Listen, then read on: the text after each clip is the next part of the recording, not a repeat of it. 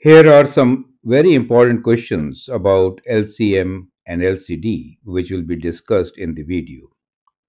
We'll see what is the difference between LCM and LCD as per their usage. How do we find LCM? How do we use LCD? And we'll explore all this with some examples. I am Anil Kumar Welcome to my YouTube channel and the website Global Math Institute. In case you want to learn directly from me, feel free to send an email on globalmathinstitute Math Institute at gmail.com. Our students are right there on the top, getting admission to the best universities, even with scholarships. Now, let us try to understand these two terms LCM, which is lowest common multiple, and LCD, which is lowest common denominator. How are they related?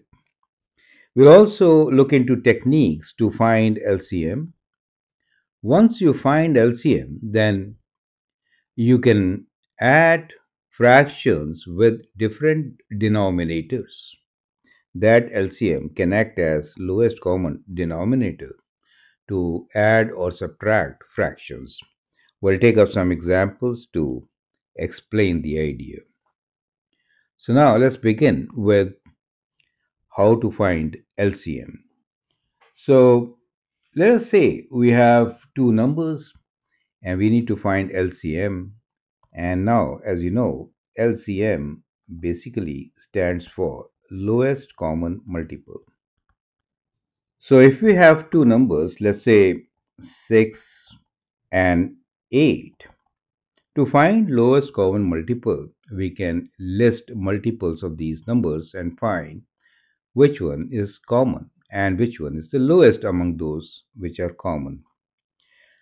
I'll suggest begin with the multiples by 1, 2, 3, 4 and so on. So 6 times 1 is 6, times 2 is 12, times 3 is 18, times 4 is 24, 6 times 5 is 30 and 6 times 6 is 36. As far as 8 is concerned, we know 8 times 1 is 8, 8 times 2 is 16, 8 times 3 is 24, 8 times 4 is 32, 8 times 5 is 40. Now in this list you can easily see that the common multiple happens to be 24 and definitely 24 is the LCM. So lowest common multiple between these two numbers is 24 correct. So that is one way of finding the lowest common multiple. We can adopt another method which is called ladder division to find the LCM without listing out the multiples. So here what we do is we write the numbers of our interest. In this case, they are 6 and 8. Well, both are even, can be divided by 2. So dividing by 2, we get 3 and 4, correct? Now there is nothing common between them. So LCM is equal to 2 times 3 times 4 which indeed is 24. So we get the same answer. So I hope you understand both these techniques. Now these two are common techniques which are utilized to find LCM. However, there are many more, including one with prime factorization of numbers, where Venn diagrams will be used. So for now, we'll stick with the division method which is far more efficient. And we'll move on with understanding how do we use this LCM and when does it become LCD, right? So now let's try to see how do we add fractions. Let me take example of 5 over 12 plus let's say 2 over 9. Now if I need to add these two fractions, you can see their denominators are different. So now what we need is lowest common denominator.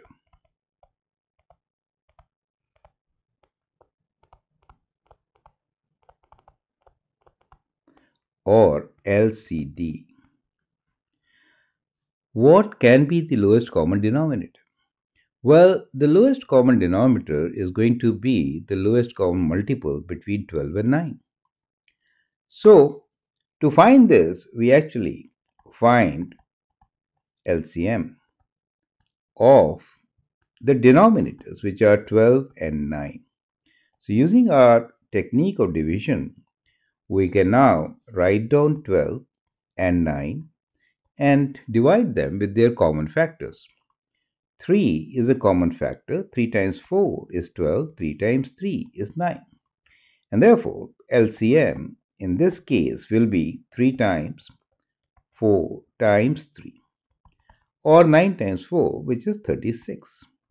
So we see that LCD, the common denominator, is always equal to the LCM and in this case it is 36.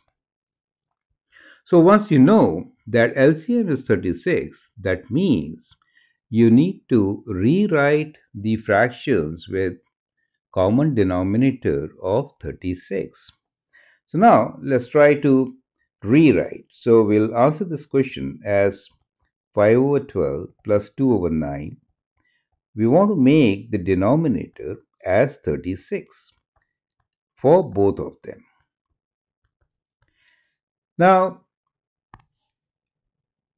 to get to 36, the equivalent fraction, 12 to 36, we need to times it with 3, right? So it becomes 15 by 36. In this case, we will times it by 4. So 4 times 2, 8. 4 times 9, 36.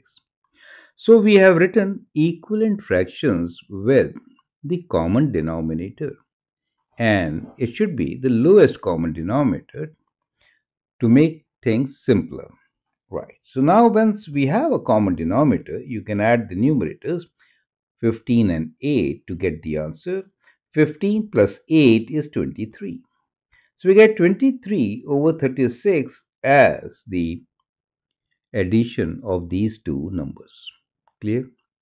So I hope the concept of finding the lowest common multiple, so that's a process, using this multiple as a lowest common denominator for adding, subtraction, or fraction is the application. Perfect. Let's take one more example. Now, what happens if we have a fraction which involves three terms to be added? For example, I have here 1 over 6 plus 3 over 8 plus 2 over 15. Now clearly we need to find the LCM. So to find the LCM, I'll use the division method. We have these three denominators 6, 8 and 15.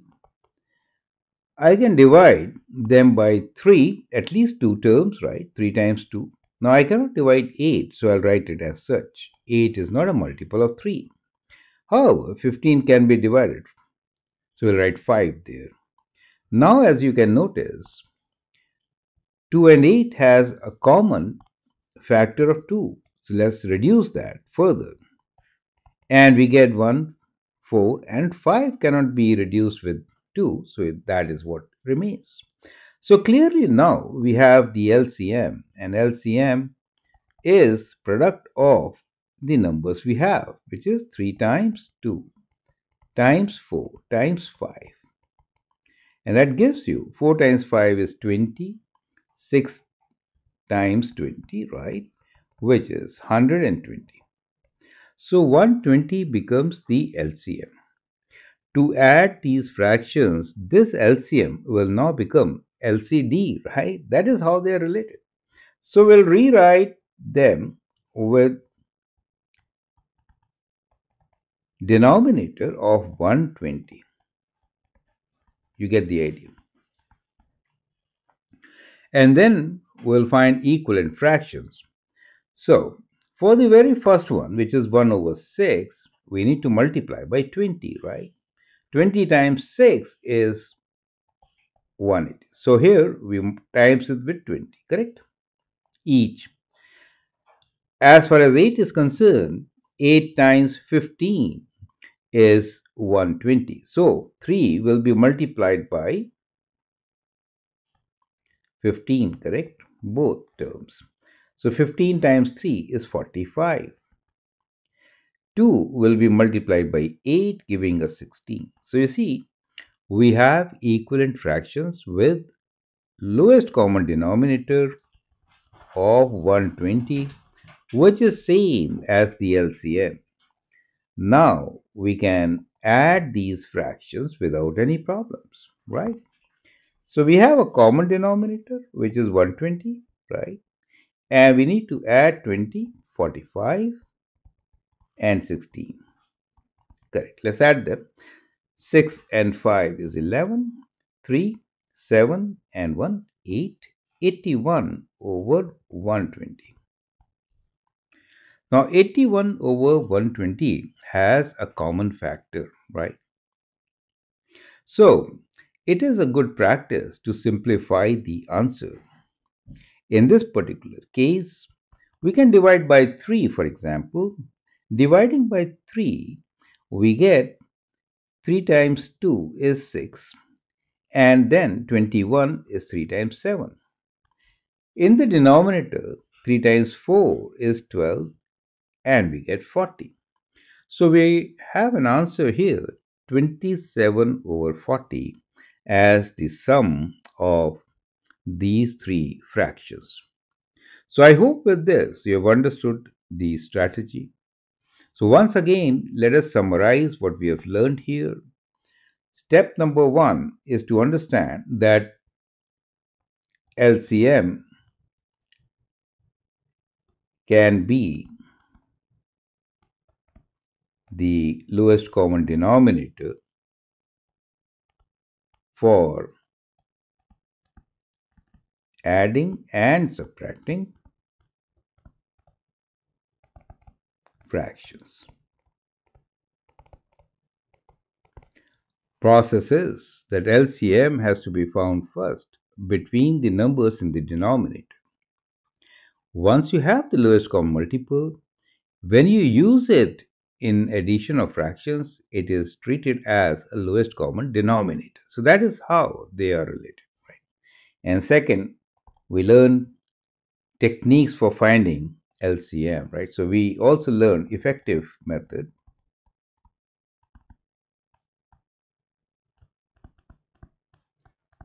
to find LCM. Now this method is very useful if we are especially working with big numbers and many of them, more than two especially, as we had in this particular video. I hope that makes sense. Feel free to write your comment, share your views. If you like and subscribe to my videos, it'd be great. Thanks for your time and all the best.